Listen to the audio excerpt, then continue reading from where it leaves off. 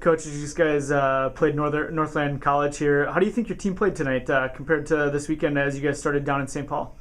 You know, this weekend, even though we didn't win, I thought we, there was spurts of where we played pretty good basketball. Uh, we had a lot of assists for the number of baskets that we made, a lot of good teamwork on the offensive end.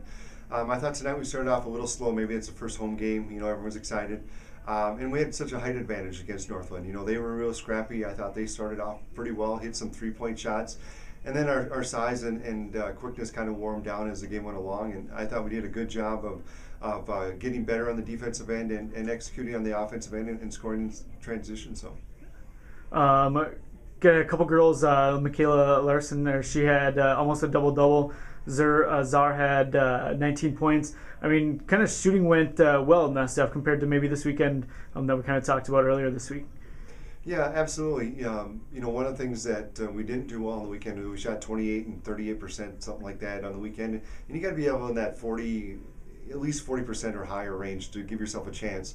Otherwise, you're going to have to play tremendous defense. And then in our league and the teams that we play, they're too good offensively. You got to be able to score and you got to be able to shoot. And so it was it was great.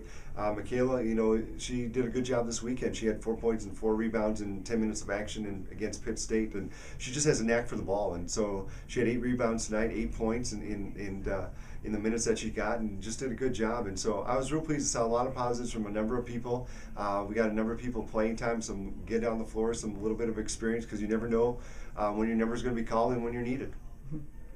Um, kind of a big win. I mean, against a Division three college and that stuff. But what do you guys take away from this week? I mean, from the first three games here that you got, um, you played a uh, nationally ranked team in Pittsburg State. Um, what do you guys take from these first three games into um, like this weekend, but then also next weekend when you guys start conference play? Well, I think we're starting to get to get uh, better teamwork. You know, I think on, uh, offensively, one of the things that we've been working on is trying to get good movement, whether that's the ball moving or people moving.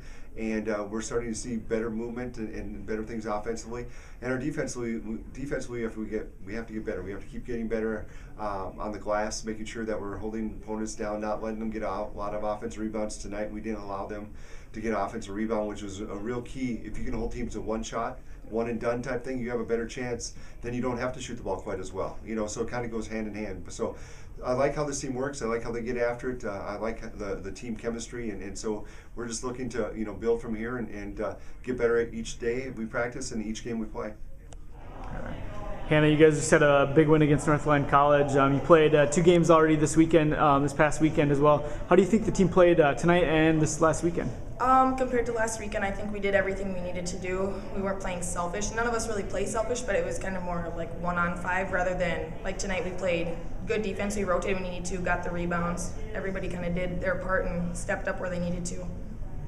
Um, you guys are such a, I mean, a young team in that stuff, uh, but a lot of the, a couple of the freshmen, I mean, played quite a bit, and uh, they played at the end there and kind of kept you guys in the game, kept a 60 point lead um, against Northland College. I mean, how, how crucial is that for everybody to come off the bench? And I mean, especially this weekend, too, you guys had a lot of bench points that came I mean, too. it's big when freshmen can kind of step in and play their role and kind of form to what everybody else did. I mean, I well, me and all the freshmen, sophomores this year, all played a lot last year as freshmen. So it's kind of nice to see that we can all kind of show them what to do, like we've showed them the past couple weeks at practice or like last month. So it's nice to see that they know what, like what is expected of them, and when they get to the game, they can carry it over from practice. Awesome. As you guys move in, you guys got uh, one game this weekend, and then uh, next weekend, uh, right after Thanksgiving, you guys start conference play. What do you take from these first three games, especially tonight, um, such a big win in your home opener? Um, I think we need to use it as a momentum bear, or like a momentum builder rather than looking at it as an easy win. We need to carry it over Friday against Mayville and then next week when we start conference play because our conference is one of the hardest ones. So we need to just kind of do what we've been doing and improve from there.